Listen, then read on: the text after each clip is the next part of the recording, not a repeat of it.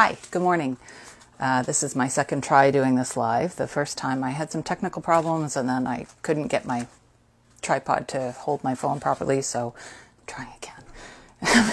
anyway, um, I have a sheet of painted watercolor paper here that I did um, outside a few weeks ago when the weather was still nice. It's painted and I'm about to fold it up. So I did this last night. So um, this is a concertina book. So I, when I painted, I painted two sheets because I knew that there was two projects I wanted to work on. So this one I did yesterday, make sure I remembered how to do it. And um, it folds out. So this is from one sheet of paper. So this is going to be our finished, our finished, not finished. This is going to be the, the finished folding. And here I have a sheet of watercolor paper. So I'm going to show you how, how I do this to get this, this small book. So let me tilt this down here so you can see.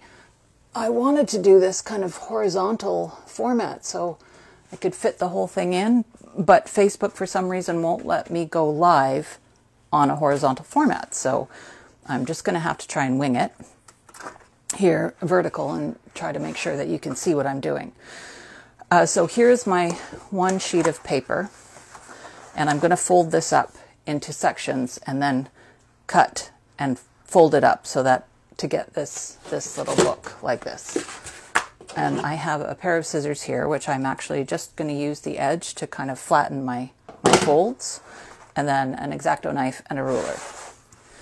So first thing I'm going to do is fold it in half and try to get this as neatly folded in half as I can. And this way is not really a problem, but the other way, because my table is kind of small, is a bit more of a problem. So these books, what I use them for is just to play with things, to play with color combinations and uh, different things that I want to explore. The little book that I made, that I did a, a flip through on was, I was doing collage and plants. I'm not quite sure what I'm going to do with these, but each one will be assigned like a theme and that theme I'll carry through the book. It's not a huge book, so um, it's perfectly fine. Oops, knock that over. Like it, it won't take me too long to do it. Probably the book will take me a few months because it's stuff that I work on when I'm when I don't have a painting going or I don't have something else on the go, right? Or I don't have a lot of time often when I don't have a lot of time. This is the kind of thing that I'll work on.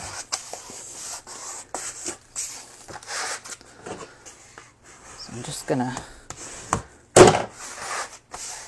flatten down those. This this is really heavy, heavyweight watercolor paper, and it's been gessoed and painted on, so it is kind of hard to fold, which is why I use the handle of the scissors to kind of get that fold in uh, so that I'll be able to see it. Okay, so that's that way. Now this way, I'm going to do exactly the same thing. It's a little harder because it's a bit bigger than my table.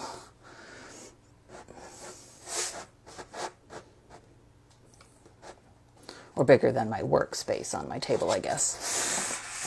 I suppose if I really needed more space, the thing to do would be to take all my other stuff off the table. But um, a lot of the stuff is stuff that I use when I'm painting, so I like to have it close at hand.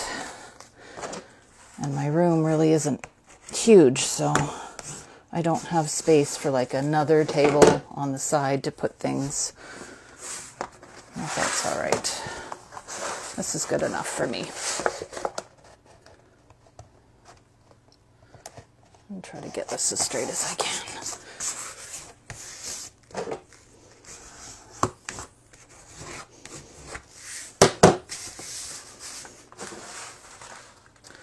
So now each one of these sides, I am going to fold in half again. The interesting thing about this is I really don't know what these pages are going to look like until I've got it folded up. There's that seam. There it is.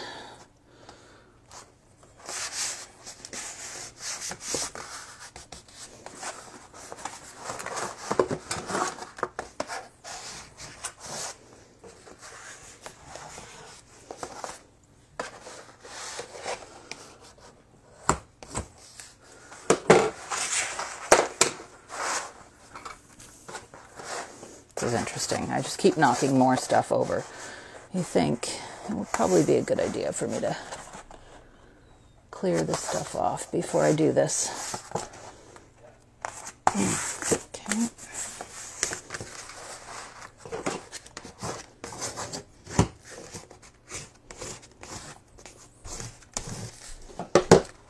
Okay, so that's that side. Let's turn it around.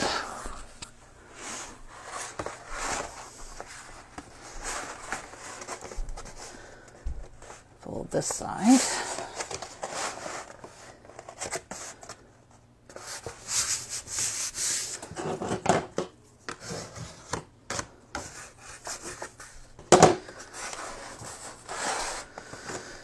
If I wanted to work in a book bigger than this, I could probably do um, separate sheets and then uh, tape them or glue them together somehow, which I might do um, when I'm done these, just as uh, an experiment, something to try. Okay, so I've got all my folds here. And when I flip that over, I can see these lines. So it's easy for me to see where to cut. Um, and how these fold up, um, I, I want the spreads to be about this size. I could do them landscape, but then these are really, uh, it's really like short and wide. This way gives me like the size, more or less, uh, ratio of some of the, the books that I do. So I'm going to want to cut this this way. Uh, so I'm only going to cut up here, up until the, the this fold on the side, so that I can um, flip it over and keep this into one continuous page. So this one here, I'm going to cut from here to here, this one from here to here, and this one from here to here, so that it's it folds up properly. And I found this thing on a YouTube video. It was a photographer's making. Um, he was making a little book to display his his uh, photographs, but I thought, well, this could could work as as a painting, as a sketchbook, and uh, the and I did it on a small scale for the first time just to see, and it worked great. So I'm now trying it on a bigger page. Okay, so this one, I'm keeping this section um, attached and then cutting this way.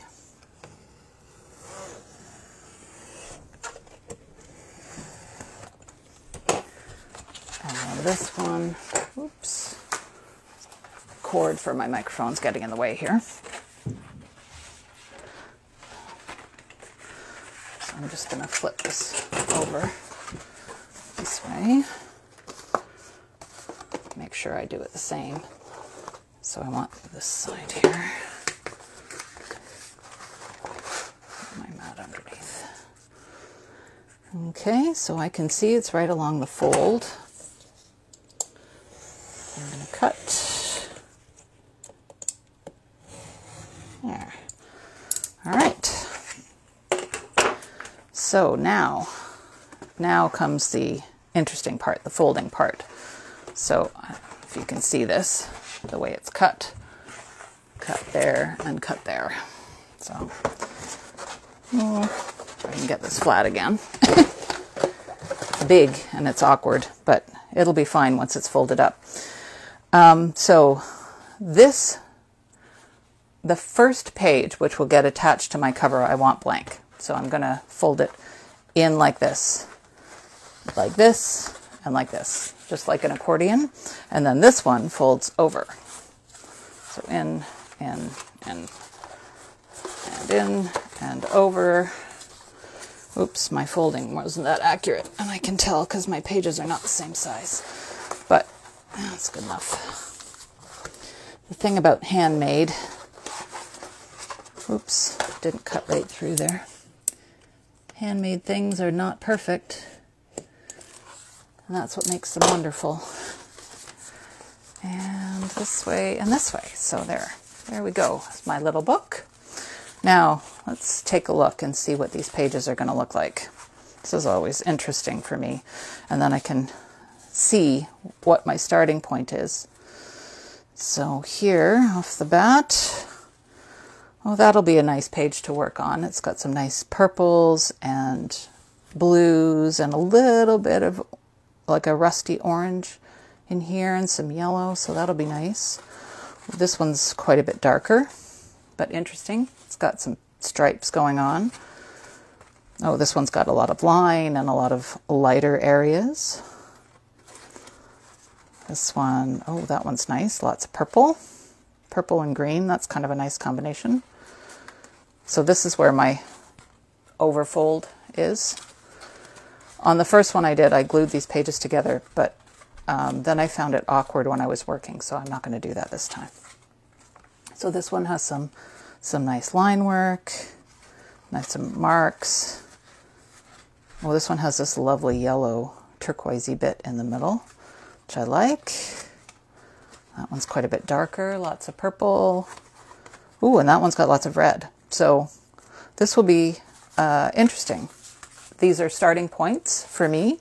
So when I have, you know, a half hour or whatever, I can come downstairs uh, and open this out and figure out what like what I want to do with that spread. And then when they're all done, it will open up into a nice book that flip that I can flip through. Oh, actually, that's quite nice with the, the four panels together. Um, it's yeah, it's an interesting process to work like this, and um, because I I never know what I'm going to get until I fold it up, which is is half the fun for me. So I have two of these that I'm going to be working on through the week, through the winter. I hope to have them done by the spring, and I may, depending on. I mean, they use two different two different color schemes, which I wrote on the back so that I wouldn't forget. So this one uses cadmium red, cadmium yellow, and phthalo turquoise, which gives me some nice color color uh, combinations and, and some lovely grays. This one which I wrote, also wrote on the back somewhere. I think I switched out my blue. Maybe I didn't write it down. Oh no, there it is. Uh, Naphthalene red, yellow ochre, and phthalo blue. So also gives me some really nice reds and some nice purples. Just the turquoise doesn't give me some nice doesn't really give me nice purples, and I do like purple, So that's anyway. So I may, uh, when I'm done, um, attach these together somehow and have one big book because they were made from the same size, um, same size paper. So they are approximately the same size. But I will decide that at uh, when I'm done with this here. So, oh, Brenda, my page is frozen. Really? Is it still frozen? Okay, I guess it's back. Maybe uh, I was having some technical problems earlier. Let me tip this back up. Um, I was having issues with my tripod, kept flipping over and stuff. So, anyway, that's the trouble with doing live. There are technical issues. Uh, anyway, so I will uh, probably do a live stream when I'm working on one of these pages just to kind of give you an idea of what I work with. And then whatever I end up with for these, this will probably end up being my next thing. I'm very interested in collage, so I've been the last book that I made, I did a lot of collage in the pages. And some of them, like I, there's a couple things that I really liked how it worked out.